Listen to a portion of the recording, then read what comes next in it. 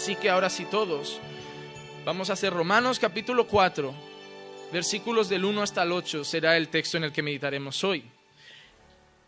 Dice así, ¿qué diremos entonces? Que halló Abraham, nuestro padre según la carne. Porque si Abraham fue justificado por las obras, tiene de qué jactarse, pero no para con Dios. Porque ¿qué dice la escritura? Y creyó Abraham a Dios y le fue contado por justicia. Ahora bien, al que trabaja, el salario no se le cuenta como favor, sino que se le cuenta como deuda. Mas el que no trabaja, pero cree en aquel que justifica al impío, su fe le cuenta por justicia. Como también David habla de la bendición que viene sobre el hombre a quien Dios atribuye justicia aparte de las obras. Bienaventurados aquellos cuyas iniquidades han sido perdonadas y cuyos pecados han sido cubiertos. Bienaventurado el hombre cuyo pecado el Señor no tomará en cuenta. ¿Cuántos de nosotros tenemos el deseo de decir bienaventurados somos aquellos a que Dios no nos va a tomar en cuenta nuestro pecado. Estamos en el capítulo 4 de Romanos y hoy vamos a hacer una lectura y una explicación de esos ocho versículos. Algo muy parecido a lo que hemos venido hablando, pero muy rápido y en cinco minutos yo quiero hacer una pequeña introducción.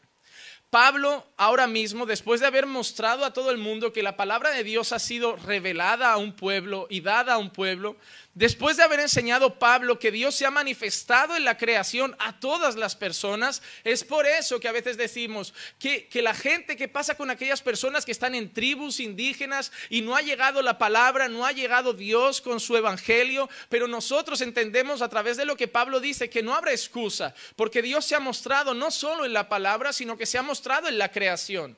¿Por qué creen ustedes que tribus indígenas adoran algo? Y es porque simplemente viendo la creación y viendo todo lo que nos rodea, ellos son son conscientes de que hay un creador, de que hay algo, hay alguien que ha puesto todas las cosas en orden en esta tierra. Ellos muchas veces caían en el error o caen en el error de adorar al sol, de adorar a la madre naturaleza, de adorar al río, de adorar a la tierra, de adorar, pero ellos son conscientes y todo el mundo es consciente que no estamos aquí por casualidad.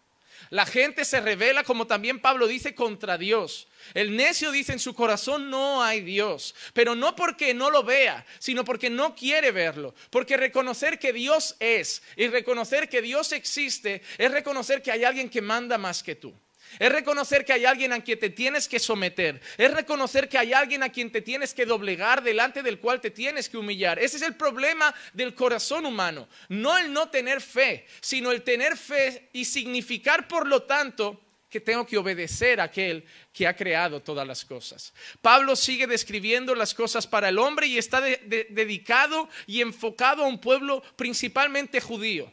Personas que creen que la salvación se gana Personas que creen que la salvación se consigue. Personas que creen que la salvación se obtiene. Y lo que yo pretendo hoy es enseñar que esas personas están dentro de la iglesia evangélica. Hoy no se llaman judíos, hoy no se llaman fariseos, pero dentro de la iglesia evangélica hay muchas personas que a través de sus enseñanzas están trayendo la cultura judía de decirle a las personas que la salvación depende 100% de ellos. Ustedes habrán escuchado esta frase de la salvación es individual. Lo que quiere decir esa frase y mal enseñada, que por un lado tiene verdad, pero por otra tiene mentira, lo que le está diciendo a la gente es yo no te puedo salvar, tú te tienes que salvar a ti mismo. Pero eso es un caso error, porque tú no te puedes salvar, ni yo me puedo salvar, todos nosotros tenemos que ser salvos y la salvación es del Señor. No es que sea individual, es individual, pero Dios es el que salva a cada individuo personalmente. Nadie puede salvarse a sí mismo. El día que tú creas que la salvación depende de ti, vas a vivir una fe deprimida y soberbia. Deprimida porque vas a tener momentos en que te vas a dar cuenta que no mereces la salvación y que estás muy lejos de merecerla y de ganarla. Y soberbia porque vas a caer en el otro lado, que es creer que te la has ganado y que hay gente peor que tú, que pobrecitos de ellos no la merecen. Entonces hoy vamos a explicar un poquito eso. Pablo se ha encontrado con una muralla que es la muralla de los judíos. Personas, hombres y mujeres que por sus raíces y sus creencias ellos defienden que la fe, la, salvación, perdón, se tiene que ganar que Dios dio una ley, que esa ley hay que cumplirla, que esa ley hay que obedecerla y quien no la obedece irá al infierno y quien la obedece será salvo. Pablo se presenta a esos hombres y les dice que la ley es recta, que la ley es perfecta, que la ley es del Señor, que claro que debemos mirar la ley y que debemos luchar por obedecerla, pero que la ley no es el camino a la salvación, que la ley no es el camino a Dios que es Cristo el único camino y la fe en Cristo, porque con la ley delante hay una conclusión que todos tenemos. Somos todos pecadores y estamos todos perdidos. No podemos cumplir la ley.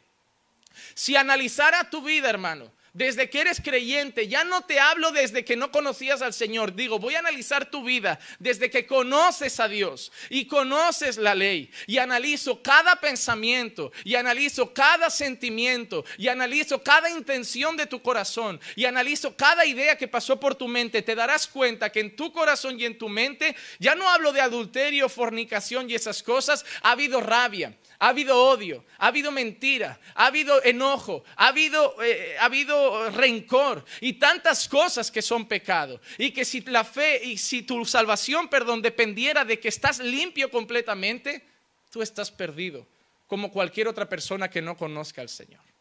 Y Pablo está trayendo ese mensaje. No es que quiera Pablo que la gente olvide la ley. Lo que Pablo quiere entender y quiere dar a entender a las personas es que Dios nunca, nunca, absolutamente nunca ha salvado a las personas por su obediencia. Es tanto que este mensaje, yo quiero enfocarlo así, no es por nuestra obediencia. No quiero luego, y dejaré un dato al final, no quiero luego que, que, la gente diga el mensaje que el pastor trae va a hacer que las personas quieran vivir en pecado. No quiero eso. Pero lo que sí que quiero traer es que vivan una vida santa, pero una vida santa de gratitud. Una vida santa y en obediencia a Dios, no para ganarse el cielo, sino por amor a aquel que nos ha dado el cielo por gracia, como un regalo. Pablo decide hablar de un personaje muy importante. Para los judíos y para los cristianos hay un hombre al que todos consideramos el padre de la fe. Es un hombre que se ha estudiado tanto en religión judía como religión cristiana. Un hombre que para nosotros es un hito, una marca, alguien que tenemos en un estandarte alto, alguien que tenemos en lo alto del podio de los hombres de la fe, y es Abraham.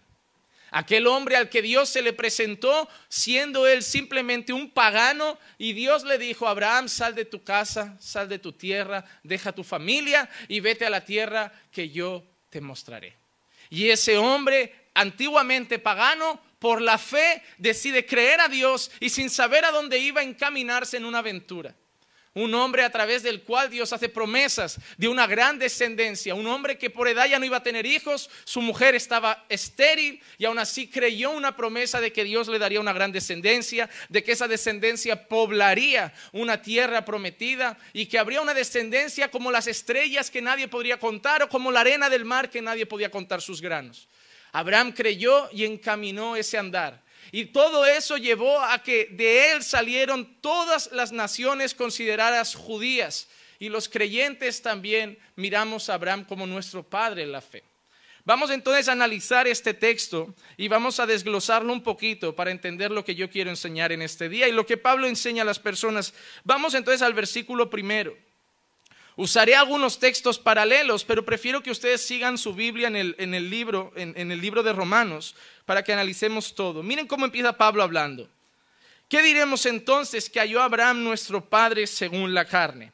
Pablo se refiere a Abraham como nuestro padre en el que él se incluye según la carne. Tenemos que entender que el origen de Pablo era un judío era un fariseo, era un hombre de la ley, era heredero de Abraham, no por la fe, sino heredero de Abraham por la sangre, por la carne, Amén. No era como nosotros. Pero hay algo que nosotros tenemos que entender y es el primer punto que yo quiero desarrollar hoy un poquito. Aunque nosotros no seamos circuncidados, que era la marca que hacían todos los hijos de Abraham para ser descendientes de Abraham, ese linaje judío, esa marca que significaba que éramos parte del pueblo de Dios, esa marca que significaba que éramos parte del pueblo escogido, descendientes directos de Abraham, era la circuncisión. Cortar un pedazo del prepucio del varón y hacer una marca externa y física que declarábamos que éramos parte del pueblo de Dios. Sin embargo, Pablo también enseña que nosotros somos hijos de Abraham, aunque no somos los hijos de la circuncisión, sino hijos de la incircuncisión, hijos no por la sangre, sino por la fe. Y eso lo podemos ver en Gálatas capítulo 3, versículos 6 y versículo 7, donde el mismo apóstol Pablo dice a los creyentes, así Abraham creyó a Dios y le fue contado como justicia. Por consiguiente, mire lo que dice Pablo, sabed que los que son de fe, estos son hijos de Abraham. Pablo está diciéndole a los, a, los, a los, gentiles, a esas personas que por los judíos eran despreciadas, porque tienen que entender que los judíos hacían clasificación de pueblos. Eran ellos y su Dios, y los gentiles pues estaban al otro lado, eran contaminados, sucios, incrédulos, paganos, pero nunca los consideraban de la misma familia. Sin embargo, Pablo dice, inspirado por Dios, que todo aquel que cree pasa a ser parte de los hijos de Abraham por la fe. Todo aquel que cree, Dios no tiene dos pueblos, Dios no tiene dos iglesias, Dios no tiene dos historias, Dios tiene un pueblo, una historia, una iglesia, unos hijos. Y tanto los que se circuncidaron y luego creyeron como los que no son circuncidados y simplemente han tenido fe en su Hijo, todos son hijos de Abraham. Una de las diferencias que hay dentro de la iglesia evangélica es estas personas que creen que Dios tiene dos historias, la historia con Israel y la historia con la iglesia. Son estas personas que enseñan que primero Dios va a venir a por la iglesia, luego habrán siete años, siete años y medio, siete años de tormento para que Israel se convierta. Es un tiempo de trato con Israel, solo con los judíos, para que luego ellos también puedan subir a la presencia de Dios. Cuando nosotros miramos la, historia bíblica, el Nuevo Testamento y todo las cartas de Pablo nos damos cuenta que Dios no tiene dos historias. Dios no mira a los judíos por un lado y a la iglesia por otro, porque Dios viene a buscar una iglesia, Dios viene a buscar un pueblo, Dios viene a buscar a sus hijos. Y Él no hace acepción de personas entre judíos y no judíos, entre blancos y negros, entre europeos y latinos, entre africanos y asiáticos. Dios tiene un pueblo y Pablo lo que está diciendo aquí es que todo aquel que cree es hijo de Abraham, es hijo de la promesa y es heredero directo de las bendiciones que Dios hizo a Abraham. Nosotros somos parte de la bendición de Abraham, de esa gran descendencia. Nosotros somos parte de la bendición que Dios dio a Abraham de tu pueblo habitará en una tierra prometida. Esa bendición, esa promesa que Dios le dio a Abraham de multiplicaré tu descendencia, serán como las estrellas del cielo. Nosotros somos parte de esa descendencia. Nosotros no somos un pueblo aparte. Nosotros no somos bastardos. Nosotros hemos sido injertados en esa familia por la fe y ahora somos hijos de Abraham y herederos de la promesa por nuestra fe en Cristo. Amén. Versículo 2 del capítulo 4 de Romanos.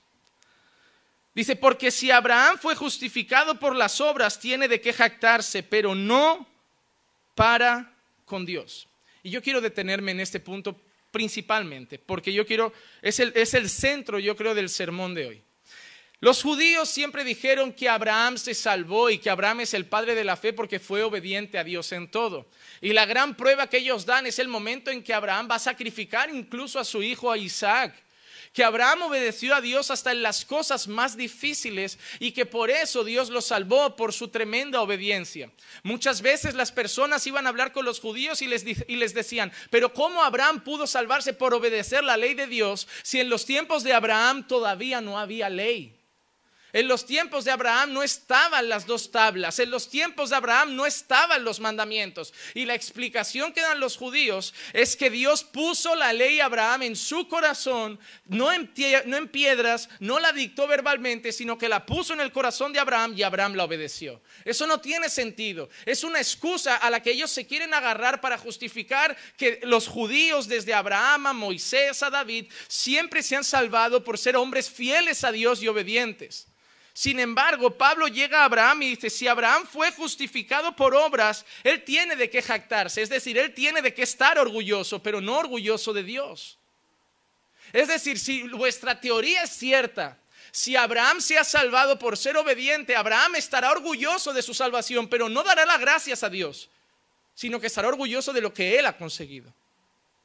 Y ahí entramos en un problema que muchos evangélicos están haciendo hoy. Estamos creando que muchas personas se salven y se sienten orgullosos de los santos que son. Personas llegan a la iglesia y miran a hermanos que caen en errores como si esos hermanos fueran escoria y ellos que no mienten. Mira, el hermano dijo una mentira, yo no miento. Mira, el hermano eh, dijo un chisme, yo no hago chisme. Mira, pero el mismo Dios que dice que no mientas también dice que Él resiste a los soberbios. Cuando te paras a analizar, te das cuenta que el pecado puede tener diferentes nombres, pero que en ti hay pecado. La gente está diciendo, no, Abraham se salvó porque fue tremendamente obediente, pero ahora yo quiero hacer un análisis pequeño de la historia. ¿Abraham fue obediente en todo a Dios? ¿O Abraham cometió algún pecado llamado mentira? ¿O Abraham se encontró con miedo ante un pueblo egipcio este, y por miedo a ser degollado y perder su cabeza miró a su mujer y dijo, ¿sabes qué, Sara? Vamos a decir que eres mi hermana. Ah, pero también era hermana, sí. Pero omitir la verdad para Dios también es mentira. Era su hermana, pero ante todo, después de casarse, los judíos ya no consideraban a las personas su hermana en aquel momento. Era sobre todas las cosas su esposa. Y él se encontró ante el peligro y en vez de decir es mi esposa, él dijo, no es mi hermana. Incluso permitió que su esposa fuera llevada, sabiendo con ello que alguien podía tener relaciones con ella prefirió mentir y ocultar la verdad, incluso entregar en manos ajenas a su esposa para no perder su vida. Moisés fue obediente a Dios hasta el final, ¿seguro? Moisés mató gente. El, origen de todo el personaje que libertó al pueblo de Egipto fue un hombre que mató a un egipcio.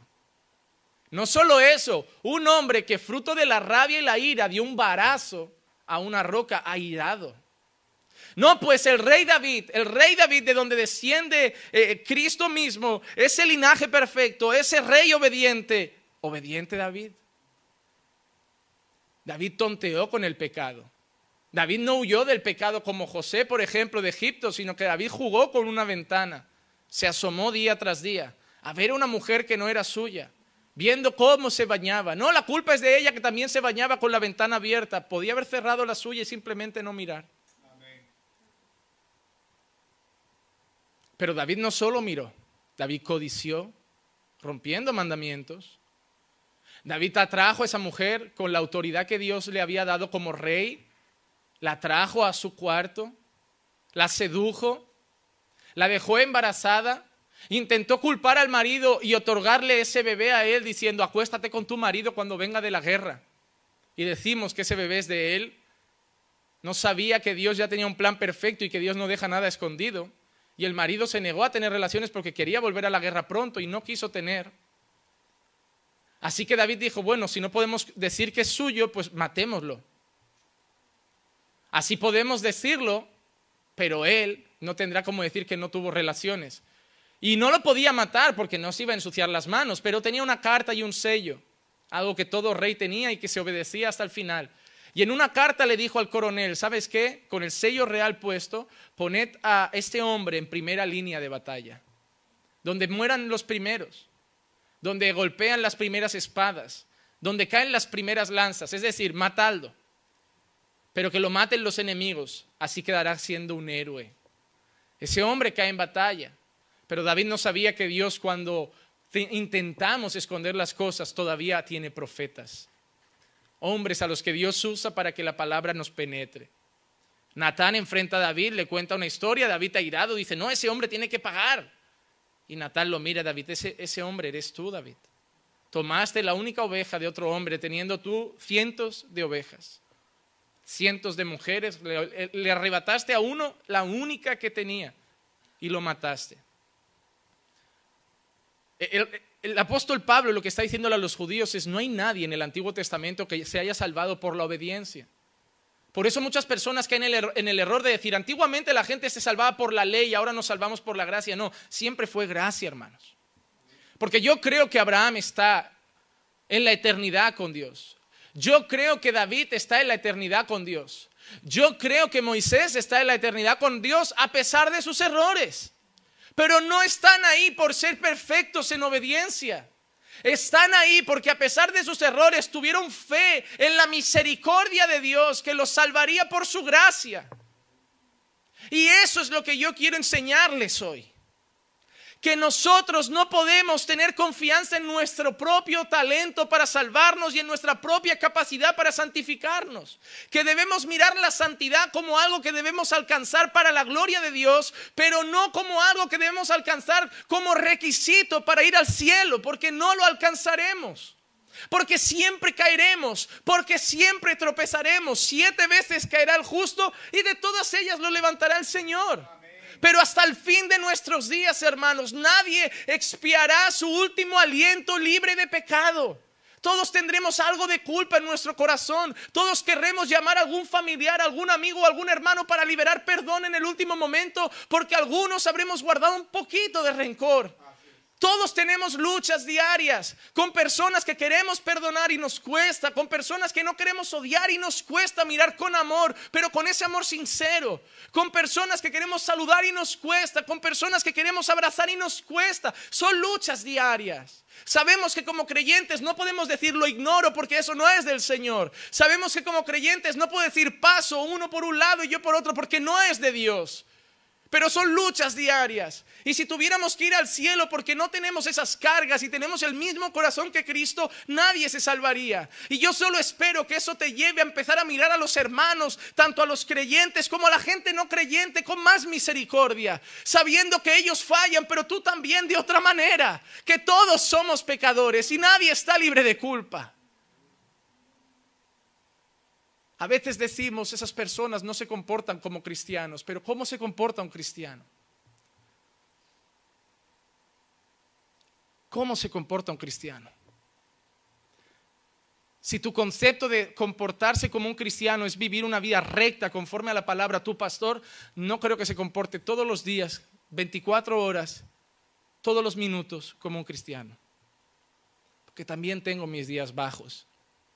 También tengo mis días de falta de fe. También tengo mis días de miedo. Y la falta de fe no agrada a Dios. Sin fe es imposible agradar a Dios. Y yo hay momentos que no encuentro fe en mi corazón. Y no agrado a Dios entonces. Pero no me siento destituido de su amor. Porque Él sabe que soy polvo. Él sabe que solo soy un pedazo de tierra. Y que soy muy débil. Y que en mis momentos de falta de fe Él me levanta y me vuelve a dar fe. Yo he gritado como aquel hombre, ayúdame en mi incredulidad. Y lo volveré a gritar con certeza a lo largo de mi vida. Como marido he tenido luchas. Y si mañana Dios me provee hijos, como padre las tendré. Y fallaré como padre. Como fallaré como marido. Como fallaré como pastor. No me voy a acomodar en mis errores. Sufro cada vez que los cometo. Porque quiero agradar a Dios pero tampoco me voy a abrazar a mis errores y a decir me voy de los caminos del Señor, porque nunca seré digno del cielo. Gloria a Dios porque no te sientes digno. Porque el primer paso para llegar al reino de los cielos es saber que eres digno del infierno. Y el primer paso para llegar al infierno es creer que eres digno del cielo. La humildad es lo que tiene que rebosar en nuestros corazones. Por eso, hermanos, el Evangelio es un mensaje que apunta directamente a la gloria de Dios. Pablo mira a los judíos y dice, si Abraham de verdad se ha salvado por ser un buen hombre, tiene de, qué tiene de qué enorgullecerse, tiene de qué estar satisfecho, tiene por qué estar contento, pero para con él, no para con Dios. Es como decir, si Abraham se ha salvado por su obediencia, Dios no pinta nada en su vida porque él se lo ha ganado todo. Pero el mensaje del Evangelio solo dice una cosa, gloria a Dios. Gloria a Dios. Si sigo vivo, gloria a Dios. Si sigo en los caminos del Señor un domingo más, estoy en su casa, a pesar de mi falta de fe, de mis luchas y mis dificultades, gloria a Dios porque yo me habría ido ya, porque yo habría desistido ya, porque yo habría dejado ya de caminar con Él, pero sigo una semana más, gloria a Dios, no porque soy bueno, porque Él es bueno, no porque soy fuerte, porque Él me fortalece, no porque me he levantado, sino porque su diestra me ha sustentado, gloria a Dios. El mensaje del Evangelio es un mensaje que da la gloria a Dios y se la quita al hombre. La iglesia crece porque tenemos un gran pastor, no para la gloria de Dios. La iglesia va bien en la alabanza, se siente la presencia de Dios porque tenemos ungidos cantando, no por la gloria de Dios. No es el talento humano, no es la capacidad, no es las horas de estudio, no son, eh, eh, no, qué talento, qué dones, qué capacidad, es tan esforzado, es tan dedicado, se sumerge tantas horas, tenemos que dar gracias a Dios por ese hombre, no gloria a Dios. Porque si no fuera por Dios, serían mensajes vacíos, simplemente una carta leída a un público. Pero si el mensaje lleva un poco de unción, un poco de aceite, lleva un poco de poder hasta el punto de alcanzar tu corazón, da la gloria a Dios porque es el único que alcanza corazones. Primera de Corintios capítulo 1 versículo 31 dice, para que tal como está escrito, el que se gloría, que se gloríe en el Señor. He conquistado esta casa por mi trabajo. Gloria a mí, no gloria a Dios. Tú no la has conquistado. Sí, pastor, yo trabajé duro, yo me esforcé. Te digo una cosa, si Dios quiere, mañana dejas de trabajar. Si Dios quiere, mañana ya no te late el corazón. Si Dios quiere, mañana no tienes fuerzas. Una simple gripe te deja dos o tres días en cama. Una simple fiebre te deja sin ánimo, sin aliento, sin fuerza, débil. Dependes de que cada día Dios te renueve las fuerzas. Dependes de que cada día Dios te despierte, de que Dios te dé vida. No vivas la vida como si fuera algo normal. Agradece a Dios por tu vida. Es el mayor regalo que tenemos. Hoy hay personas que no se despertaron, niños salieron ayer de fiesta y no volvieron a casa, gente perdió la vida en accidentes de tráfico, madres quedaron sin hijos, hijos quedaron huérfanos, gente perdió padres y nosotros estamos aquí. No porque somos buenos o porque hemos cuidado bien a nuestros hijos, sino porque se lo debemos todo a Dios. El que se gloría, gloríese en el Señor. Dios me libre de decir, mira amor, empezamos tres personas en casa y hoy hay 75, 80, 85 personas en nuestra iglesia. Qué bien lo hemos hecho, no, gloria a Dios. Porque si fuera por nuestras palabras, nuestras actitudes, nuestros gestos, si midiéramos todos los errores que hemos cometido en el camino, tendríamos más posibilidades de tener la obra cerrada que todavía abierta. Y no para de llegar gente por la gloria del Señor. No es nuestro mensaje, no es nuestra alabanza, no es nuestra visión, no es que somos ungidos, es que Dios obra y Él añade cada día a los que tienen que ser salvos. Toda honra y toda gloria sea dada al Señor. La salvación depende totalmente de Dios para que el hombre no le robe la gloria. Efesios 2, 8 y 9, porque por gracia habéis sido salvos por medio de la fe y esto no es de vosotros Tú no puedes salvarte por la fe, porque la fe no depende de ti. Tú no puedes tener fe. Tú no puedes comprar fe. Tú no puedes consumir fe. Tú no puedes ir a buscar fe a un sitio. Tú no puedes ir a un pastor lleno de fe, a un hombre lleno de fe y decir, dame de tu fe, porque él no puede dar fe. La fe es un don de Dios, no por obras. ¿Por qué la salvación no es por obras? Para que nadie se gloríe de ella. Para que nadie se gloríe de ella. El corazón humano siempre quiere reconocimiento.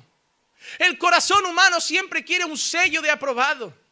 La gente si no hay examen no estudia, porque ellos no quieren aprender, ellos no quieren saber más, ellos quieren un certificado. La gente, pastor, quiero ir a un seminario, pero no tengo dinero. No, pues hay un seminario gratuito, solo que no te dan diploma. Ah, si no me van a dar diploma, no estudio. La gente quiere el premio. La gente solo hace deportes y va a ganar una medalla, solo entrena duro si va a ganar una medalla, solo se sacrifica si al final va a haber recompensa. No hacemos nada incondicionalmente. No estudiamos simplemente por aprender, queremos un reconocimiento. No, pastor, yo no tengo diplomas ya, pero a veces buscas el reconocimiento de la gente que pueda decir cuánto sabe. Porque te da rabia tener tanto conocimiento y que no te deje el pastor o alguien exponerlo. Porque lo que quieres es que la gente lo aplauda. No aprendes solo para saberlo tú, para saber en tu casa, en lo más íntimo, que tienes conocimiento, que estás estudiando y te estás esforzando. El hombre quiere premios, el hombre quiere reconocimiento. El hombre no quiere hacer cosas si no se ven. El hombre no busca el anonimato, busca la fama, busca la gloria. Mira cualquier programa inmundo de la televisión. ¿Cómo quieren hacerse famosos muchos jóvenes de hoy en España? Tenemos un programa llamado Mujeres, Hombres y Viceversa. Un hombre va, se sienta en un trono, una mujer y como 30, bueno, 10 o 12 chicos del sexo contrario van a tener citas con esa persona, se van a pelear por esa persona, todos van a besar a esa persona. E, es algo asqueroso de ver. Pero eso garantiza que críos que no han hecho nada en su vida, que no valen para nada, ganen 2.500, 3.000 euros al mes porque luego van a discotecas, luego se hacen fotos, luego se hacen fama, porque el mundo aplaude eso y le gusta eso. Y aunque pongan ese programa a las dos y media, una del mediodía, lo ve muchísima gente. La gente ve programas en España como Sálvame Deluxe, no por el nivel intelectual de los debates, porque tienes un montón de programas de debates intelectuales, pero como aburren los cambiamos. No vemos programas de, intelectualidad, de conocimiento, de adivinar palabras. Vemos programas donde el juego de tu vida. Hombre que va a enfrentar preguntas íntimamente comprometidas y tiene que decir la verdad y si va diciendo la verdad crece ahí el dinero. Nos gusta sacar los trapos sucios. Sálvame, un programa donde son todo necios. Alguno habrá estudiado, pero parece que no han tenido educación en su vida, donde solo van al grito, al despellejar a famosos, a sacar trapos sucios y la gente lo disfruta. El ser humano es así. El ser humano quiere ser visto a toda costa. Si tengo que despellejar gente, lo haré. Si tengo que hablar mal de personas, lo haré. En el trabajo, si tengo que a escondidas hablar mal de mi compañero con mi jefe para que me mire más a mí luego más tienda a mí, lo haré. Porque yo quiero el reconocimiento. Y si mi jefe me, cae mal, fingiré que me cae bien. Y si me parece mal lo que hace, fingiré que lo hace bien todo por ganarme un puesto. Porque mi objetivo en la vida es ser reconocido. ¿Cuántas mujeres o maridos no echan en cara a la pareja? No reconoces todo lo que hago por vosotros. Eso no es amor incondicional. Eso es búsqueda de reconocimiento. Es yo os plancho yo os cocino, yo tengo la casa limpia y como mínimo espero al menos que lo veáis y lo reconozcáis. No lo hagas. Dios no quiere que lo hagas para que luego la gente te lo reconozca. Dios solo quiere que lo hagas si de verdad amas a tu familia y lo quieres hacer de corazón. Como el marido que dice, trabajo de sol a sol, no falta comida, no falta nada de ropa, no os falta la peluquería, no os faltan los caprichos, no os falta nada. Solo pide un poco de respeto. No lo hagas para ganarte algo. Pero el ser humano cae en el error de que todo lo que hacemos es en busca de reconocimiento. Todo lo que hacemos es en busca de reconocimiento. Y Pablo está diciendo, no, el que se gloría, gloríese en el Señor. La iglesia evangélica hoy es así. Hoy la gente que estáis en esta iglesia os tacharán de calvinistas, os tacharán de muchas cosas, dirán, ¿en tu iglesia enseñan lo de salvo siempre salvo? Sí, sí lo enseñamos y orgullosos de enseñarlo. Ya, pero esa enseñanza trae que la gente quiera vivir en pecado. No tiene por qué. Yo creo en esa enseñanza y no quiero sumergirme en el pecado. Sufro cuando peco, sufro cuando tropiezo, pero creo que es mi salvación, no la voy a perder porque depende totalmente de Dios. Porque esa gente lo que está diciendo indirectamente es, no, yo le doy la gloria a Dios, pero yo tengo que ganar, cuidarme mi salvación. Ellos lo llaman cuidar, pero realmente es ganar. Porque si creen que la pueden perder, también creen que la están ganando, también creen que la merecen, también creen que lo han conseguido, que me he portado tan bien que he llegado al reino, que me he portado tan bien que recibiré la corona de vida eterna, que me he portado tan bien que Dios me va a dar la eternidad. Pero al final, ¿qué pasa? La gloria es tuya, el mérito es tuyo. Y para ti lo mismo que para los judíos. Entonces tu salvación tiene de qué jactarse, pero no para con Dios.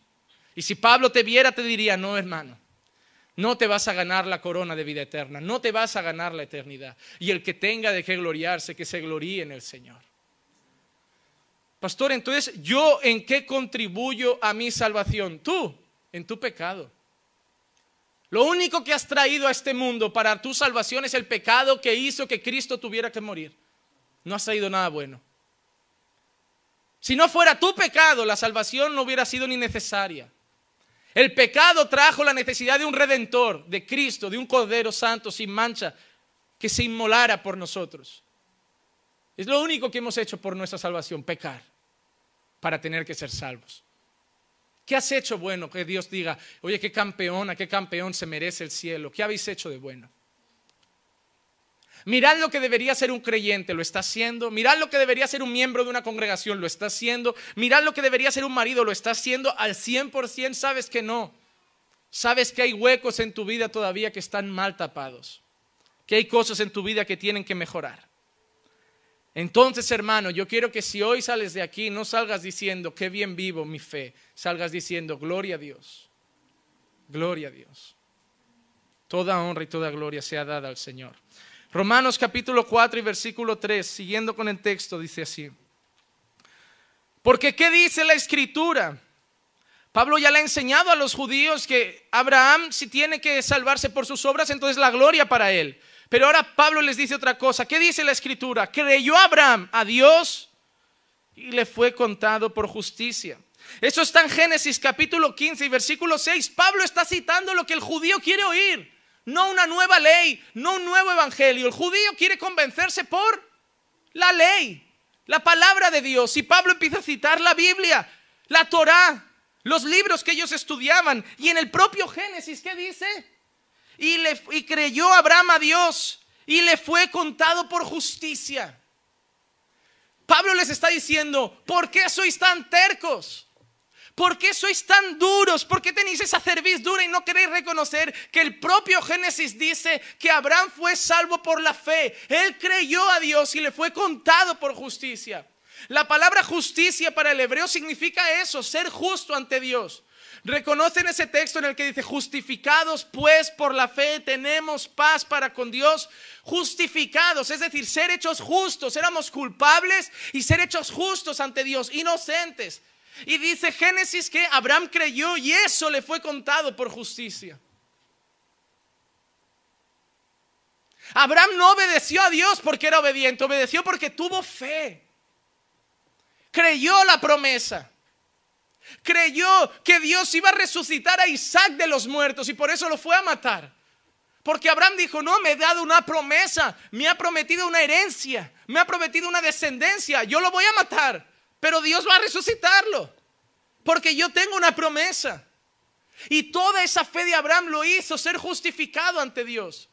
Él cometió errores, él falló, pero nunca desistió. ¿Por qué? Porque siguió creyéndole a Dios y creyendo las promesas de Dios. Es por eso que yo te quiero animar, hermano, que a pesar de los errores no tires la toalla a un lado. Sigue creyendo a Dios. Abraham falló, Moisés falló, David falló, los grandes hombres de Dios fallaron. Tú y yo vamos a fallar, pero que no te lleve a tirar la toalla. Levántate de nuevo y ten fe. Ten fe.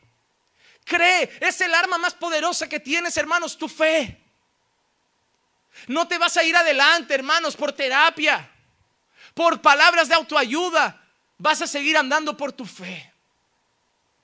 A veces miras tu casa y la ves desmontada, sigues luchando y esforzándote para que tu casa tenga esa imagen de una casa cristiana, de una casa para la gloria de Dios y no lo ves a veces. No desistas. Ten fe. Ten fe. Quieres ser ese matrimonio que en todo glorifica a Dios. Quieres ser el matrimonio real. No quieres vivir una fe hipócrita. Yo sé que te duele saber el matrimonio que tienes que ser y saber que en tu casa no lo estáis logrando. Porque a mí también me ha dolido. Yo también lo paso. Yo también paso días en los que debería ser el ejemplo de matrimonio perfecto y no lo estoy siendo ese día. Y yo digo, y ahora encima toca estudio. Hoy que peleo. Y tengo que aparentar, ¿no? Que nada pasa. Y nos duele, ¿verdad? Y deseamos que eso no sea así. Deseamos llegar acá a la iglesia, aparentar que estamos bien ante Dios y estarlo. ¿Y qué hacemos? ¿Desistimos? Seguimos con fe. Un día lo veremos. Un día lo veremos. No, pastor, yo yo vine aquí, yo quiero crecer en la iglesia, yo no quiero seguir calentando un banco, yo quiero crecer, pero me cuesta, a veces no consigo tiempo, a veces querría más. Ten fe, va a llegar el momento, pero no desistas. No desistas de las cosas. No te digo que las visualices. No te digo cierra los ojos. No te digo decláralo. No te digo arrebátaselo al diablo. Esas cosas son tonterías, son mantras. Eso es, eso es espiritismo raro. Eso es brujería evangélica. Yo te digo que creas. Para creer no hay que cerrar los ojos. Para creer no hay que visualizar. Para creer hay que confiar en Dios. Para creer es simplemente saber qué va a pasar si Dios quiere. Para creer es saber y confiar que depende de su mano. Creer es, no es declarar, es esperar que un día la mano poderosa de Dios obre en tu corazón. Pastor, pero yo soy el más miserable. Usted no conoce mis lados oscuros. Usted no conoce mis pensamientos más eh, eh, eh, escondidos. Yo sigo creyendo que la mano de Dios va a cambiar tu corazón. Pastor, pero no conoce mi pasado. Sigo creyendo que la mano de Dios va a restaurar tu pasado. Tanto es así que yo soy un pastor que cuando las personas vienen y me dicen, pastor, necesito contarle mi testimonio, mi vida, le digo, no lo quiero saber. No lo quiero saber. Yo solo quiero saber lo que vas a hacer de hoy en adelante. Tu pasado no me importa. Tampoco te voy a contar el mío. Porque lo que me importa es lo que Dios va a hacer hoy. Y Él va a hacer todas las cosas nuevas. Pastor, pero está tardando. Ten fe. Pastor, pero mi hermano va más rápido. Ten fe. Pastor, pero ¿qué garantías tiene usted de que Dios me va a cambiar? Que el que empezó la buena obra la va a perfeccionar pero no ha dicho que la va a perfeccionar en todos al mismo ritmo. Pastor fulano lleva un año y mire cómo Dios ha trabajado en su vida y fulano lleva diez. Nadie ha dicho en la palabra que todos van a cambiar al mismo ritmo. Somos personas diferentes. Nos entregamos a Dios de diferente forma. Tenemos diferentes corazones, diferentes cosas que arreglar.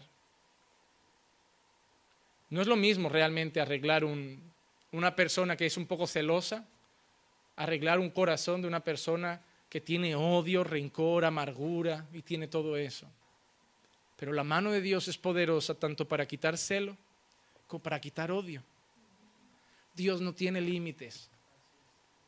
A nosotros nos cuesta una cosa más que otra.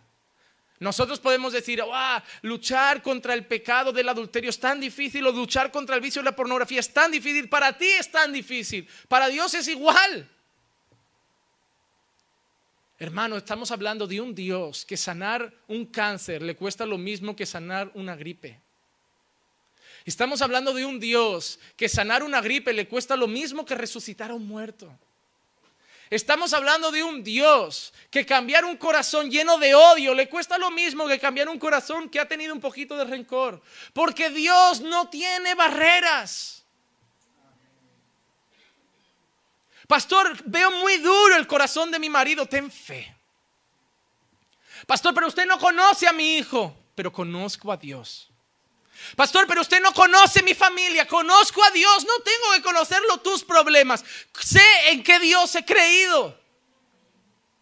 Y por eso Abraham, a pesar de los errores, seguía para adelante. Abraham, pero has mentido ya, pero no me puedo parar aquí hundirme en mi error, cavar un hoyo, meterme dentro, echarme tierra encima y decir, me quedo aquí porque cometí un error. No, seguiré andando. Y tendré fe en qué? En que te vas a salvar por haber obedecido. No, porque no lo hice tan bien. Pero tengo fe de que si llego hasta el final, la gracia de Dios me estará esperando.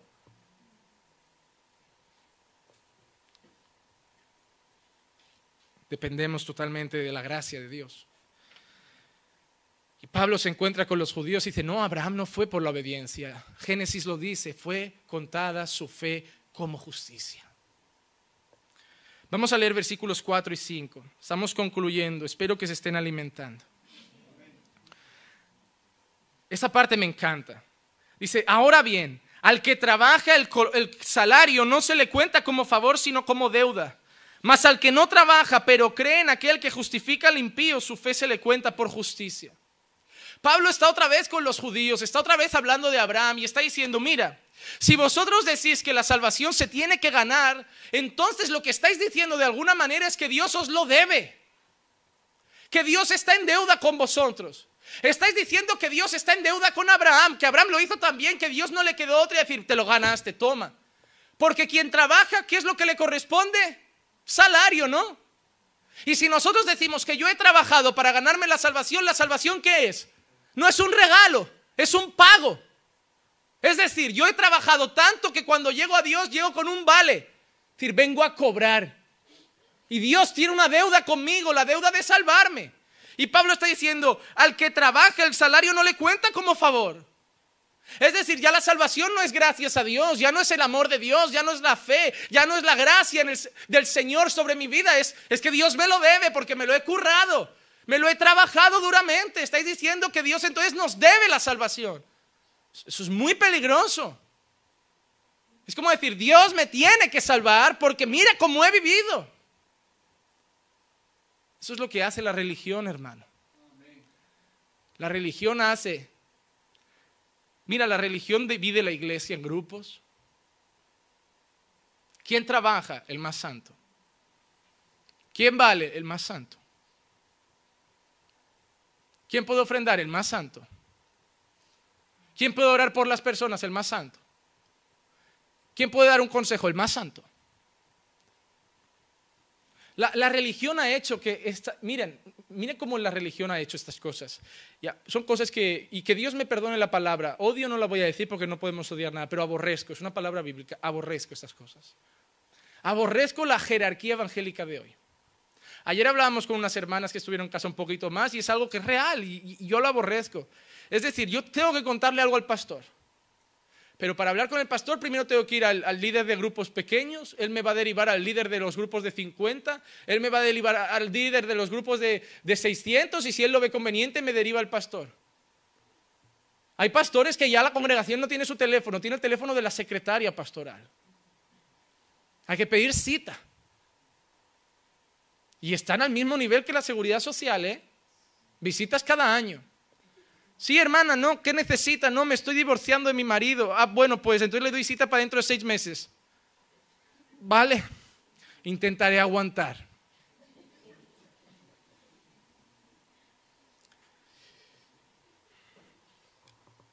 Otra que no me gusta, pastor presidente, pastor suplente, pastor local, pastor principal, pastor secundario, pastor titular. ¿Esto qué es? ¿El Madrid? Yo soy Florentino Pérez. Marcos es Denis Zidane. Yo soy Bartumeo, Marcos es Valverde, no. Hermano, sí, porque yo soy una iglesia pequeña, yo le rindo cuentas a la, del territorio. La del territorio le rinde cuentas a la nacional, la nacional a la del continente y la, la del continente al pastor presidente supremo apostólico global mundial, el Papa. Yo pensaba que éramos todos pastores. No, no, aquí no funciona así, aquí hay un orden. Dios es un Dios de orden. Orden no se refería a jerarquía, se refería a que no quería circos, que era un Dios de orden, no que quería escalas jerárquicas. Porque ¿sabes lo que me parece? Me parece... Eh, ¿Saben lo que me, Yo he visto una de una iglesia que la tienen en la página web de su iglesia. Me recuerda a la cadena alimentaria que, aprendí de pequeñito en el cole. El, pastor titular apostólico principal supremo, Darth Vader evangélico, él, es el león, Debajo hay un leopardillo, luego hay un pequeño tigre, un gato montés y, el pastor local que es la cebra. Lo que hace es que uno come de otro. Pastor, tú me vas a abrir una iglesia, te vamos a poner la chapa de nuestro ministerio ahí, nos vas a pasar el 10% de los ingresos a la, a la territorial. La territorial gana de las locales. Entonces coge el 10% de los ingresos y la pasa a la nacional. La nacional gana de todas las territoriales, pasa el 10% a la continental, el continente tiene todas las nacionales y pasa el 10% a la mundial. La mundial eh, tiene un ingreso ya solo de lo que va chupando como una sanguijuela del trabajo de otros, que encima son más pequeños, que en vez de dar a los pequeños, chupa de los pequeños, ahí saca la, sede, la pagan, porque la sede es una sede, uh, la iglesia sede, suena hasta bonito, vamos a la iglesia sede. O sea, ¿de qué estamos hablando, hermano? ¿De campo de fútbol, de estadios, de auditorios? No, no, y el pastor principal tiene una casa, no, el pastor local tiene una chabola, el pastor territorial tiene un piso en Pedralbes, el otro tiene una casa en Miami y el otro ya tiene la mansión al lado de Richard Gere. No, hermano, ¿qué porquería es esta? Jesús comió en la mesa con todos. Y Jesús no era el pastor presidente. Jesús era un hermano y limpió los pies de los discípulos. Jesús no pidió dinero. Donde Jesús comía tenían que comer todos. Él no comía aparte en una mesa. Él no tenía un plato separado. A él no le servían el primero. Él servía a los demás. A él le llegaron con unos, unos panes y unos peces y no dijo, pues esto para mí y vosotros ir buscando. Dijo, no, pues yo comeré, multiplicaré que coman todos. ¿Qué pastor manda más, Marcos o yo? Ninguno. ¿Qué pastor es más importante? Bueno, usted fundó. ¿Y qué? ¿Qué más da con quién empezó? ¿Y qué más da con quién acabará? Importa el Señor y esta iglesia es de Cristo. Eso es la palabra de Dios, hermano. Ese es el Evangelio. No queda lugar para el orgullo, no queda lugar para decir yo me lo merezco, yo me lo he ganado. No, pero yo lo fundé de la nada y ahora vienen 40 pelagatos y se lo hemos dado todo hecho y van a tener lo mismo que yo. ¿Y qué? ¿Y la parábola aquella? Del que trabajó tanto y luego llegó uno que trabajó solo al final y le pagaron lo mismo y el otro tenía rabia. Pero deberías estar feliz de que ha llegado para ayudar. ¿Qué más da? ¿A ti qué te dijeron? ¿Que te pagarían tanto? Vale, pues tanto. Ya, pero a él le van a pagar lo mismo por menos. Bueno, a ti te van a pagar lo que te dijeron. Sí, pues eso es lo justo. No hay escalas, no hay jerarquía, no queda lugar para el mérito, no queda lugar para que Dios nos deba nada. Y ahora yo quiero interpretarlo de otra manera. Primero Pablo está diciendo, si la salvación es por obras, Dios tiene una deuda. Ahora yo quiero interpretarlo de otra manera. Si la salvación es por obras, tú siempre vas a tener una deuda con Dios también.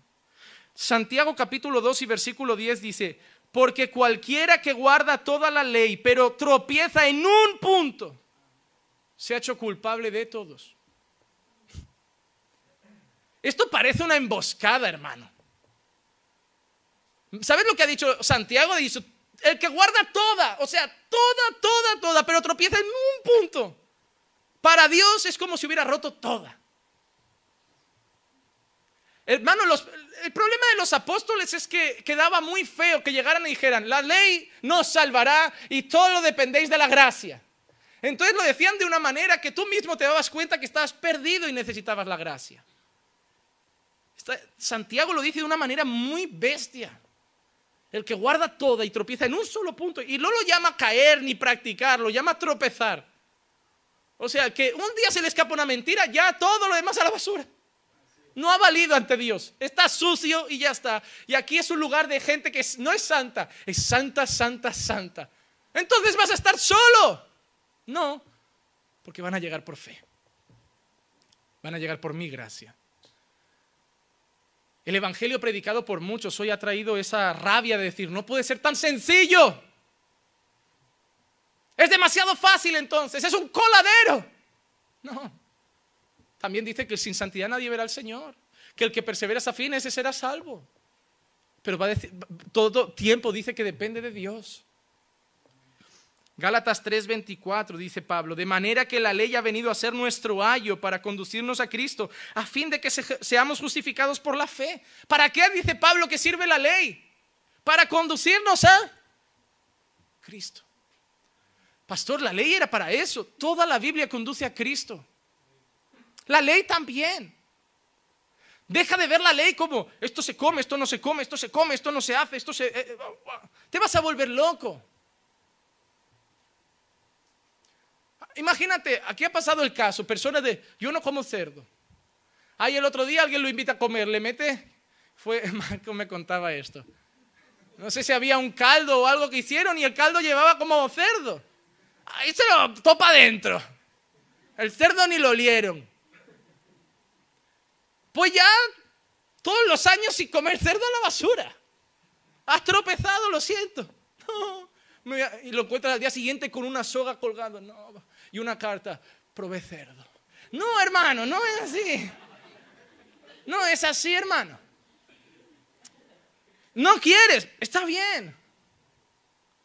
¿Quieres? Está bien también. ¿Quieres guardar el sábado? Está bien, pero no mires a la gente que no lo guarda mal.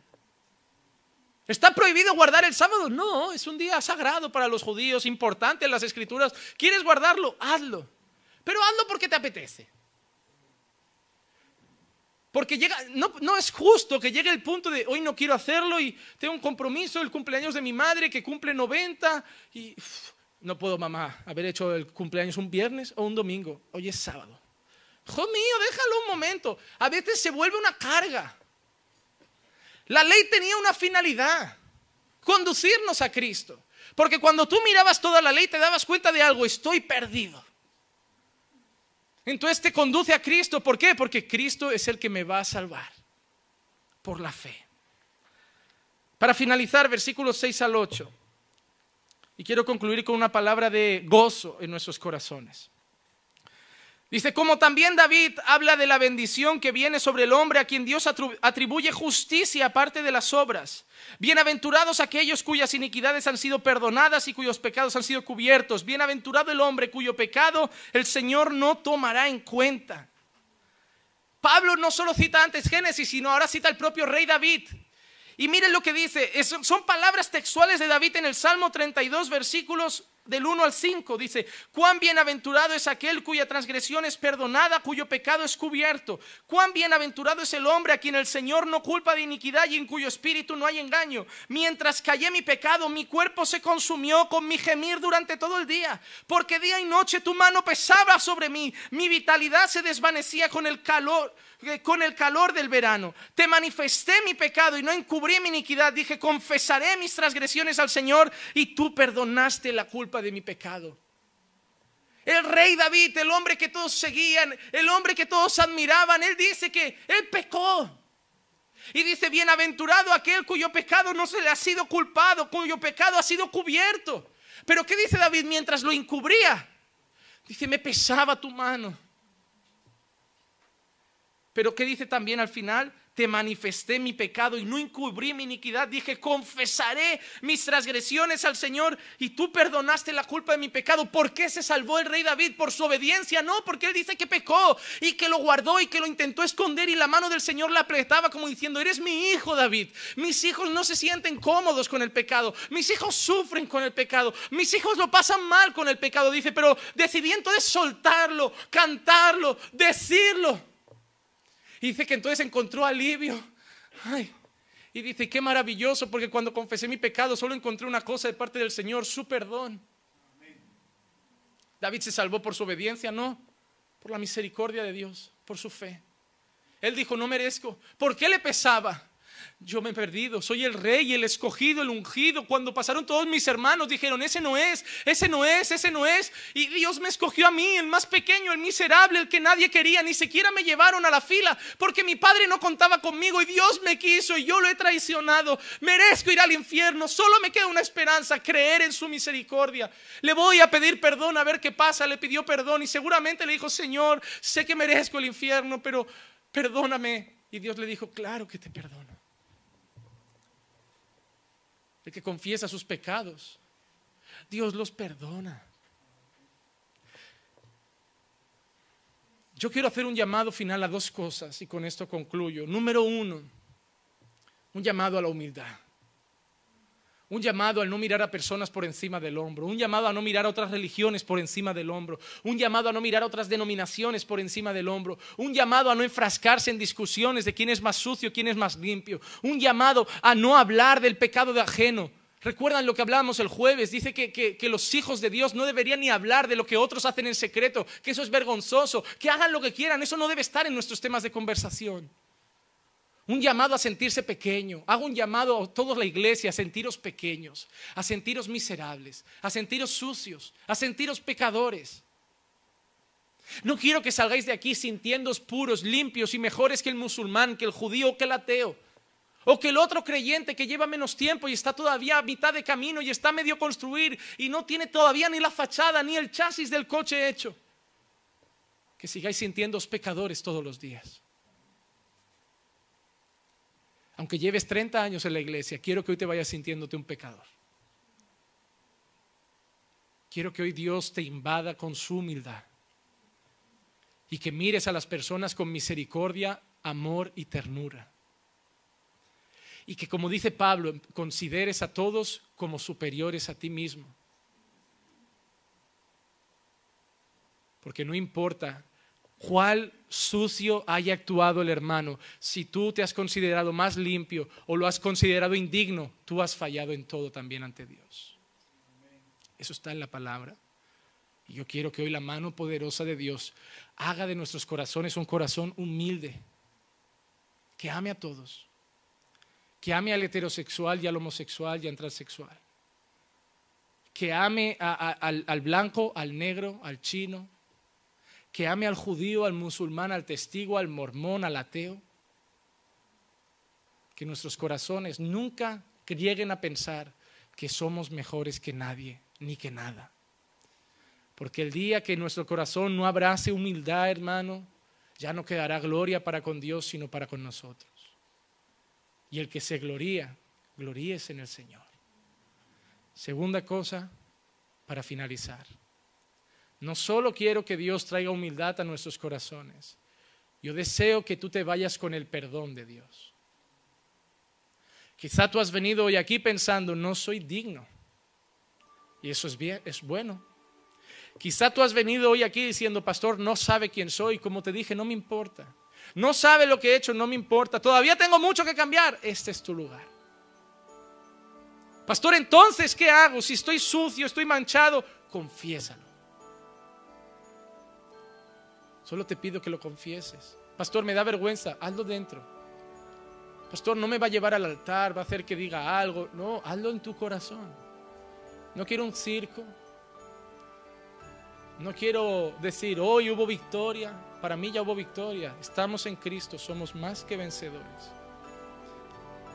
Yo quiero que lo hagas en tu corazón. Porque hacerlo aquí es para que el hombre lo vea. En tu corazón queda entre tú y Dios quiero que en tu corazón te desnudes hoy ante Dios. Yo quiero que en tu corazón no intentes ocultar cada sentimiento, cada pensamiento, cada rabia, cada ira, cada enojo, cada rencor, cada cosa del pasado, del presente. Pero también quiero que presentes tus dificultades, tus luchas. Pastor, quiero orar y no puedo. Pastor, quiero, quiero estar cerca de Dios y me cuesta. Todo, preséntaselo. Porque mientras no lo haces, estás con una mochila en la espalda cada vez más pesada. Y yo quiero que hoy dejes esa mochila aquí. Y que digas como David, pero cuando lo confesé, entonces encontré perdón, encontré alivio, encontré descanso. Vete hoy de aquí humilde y vete hoy de aquí perdonado.